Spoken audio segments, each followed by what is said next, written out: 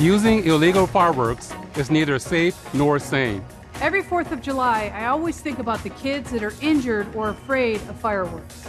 I think about our veterans, some of who remain traumatized by events they endured serving this country. I worry about our pets. Many of them are terrified by fireworks and run away. Leave fireworks to the professionals, avoid a fine or arrest, and go see a public show. This year, let's think about the kids.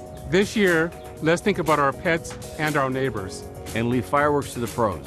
So take the family to a public fireworks show and enjoy your 4th of July.